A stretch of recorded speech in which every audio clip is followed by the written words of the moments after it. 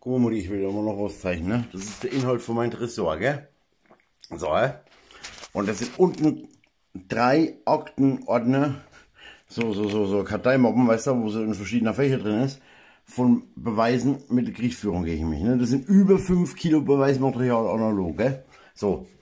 Und ich habe da oben das ganze Zeug, was da drin war, hatte ich alles oben auf die Aktenmappen drauf. So, jetzt wollte ich aber an die drei Aktenmappen ran und wollte was einsortieren, muss ich erstmal das ganze Zeug oben drüber abräumen. So, jetzt habe ich dann natürlich äh, schon gedacht, mein Tresor ist 30 breit. So, jetzt pass auf.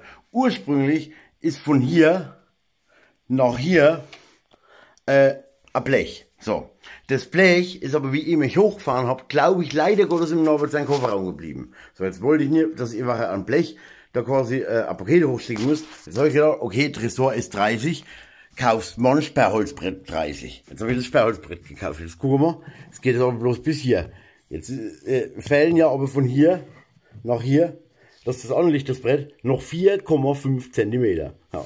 Jetzt habe ich einen alten Pappkarton gehabt, den habe ich da doppellauchig genommen, mit ganz starkem Papp und habe den mit kleiner Schrauben da drauf geschraubt. Hä?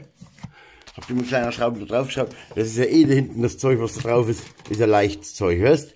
Hä? Und da hält es quasi jetzt, pass auf, da hält es hier über die Schrauben. Hier. Kann man sogar ordentlich Druck aufbringen, einigermaßen.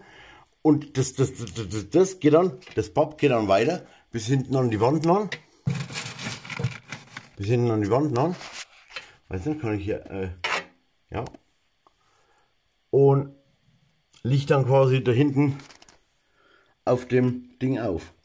Und dann habe ich, guck, habe ich das äh, Bob mit so kleiner Schraube drauf geschraubt. Ja, und ich gucke sogar unten ein bisschen raus. Ich habe halt nichts passendes gehabt, aber ist putzig. Auf jeden Fall habe ich jetzt quasi dadurch einen selber gebauten Einlegeboden, den ich halt ein wenig gebastelt habe. Und habe dort die Dinger unten drunter und kann die unten, zack, muss ich nicht abräumen, gar nichts, nehme ich hier raus, zack, fertig.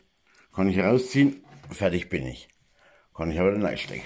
So macht das für mich am meisten Sinn. Geil, oder?